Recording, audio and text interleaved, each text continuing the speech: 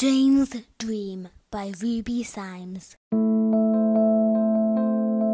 Once upon a time, there was a little girl called Jane who lived in Plainville. Plainville was a very dull place. Everything in Plainville was drab and grey. Even the colour wheel in an art class had no colour.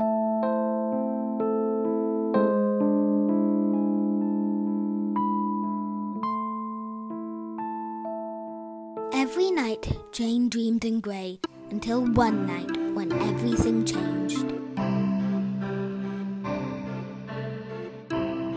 Jane woke up in a forest full of colourful trees.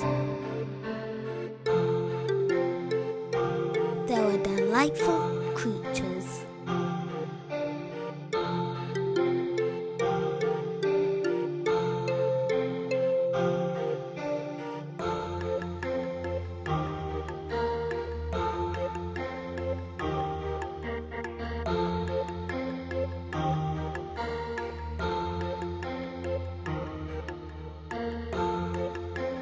Dazzling characters.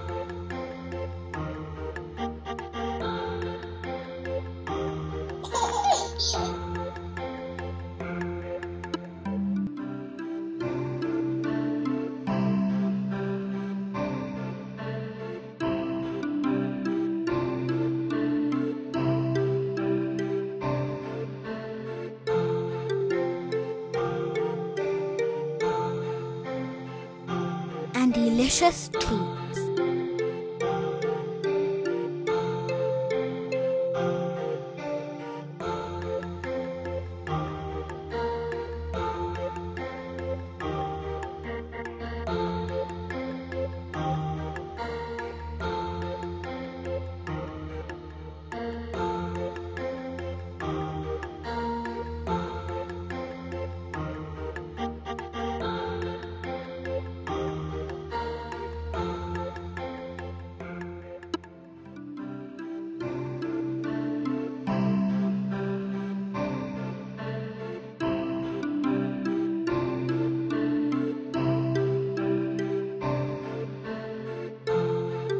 Jane could hardly believe all the amazing sights. But when she woke up, she was back in Plainville.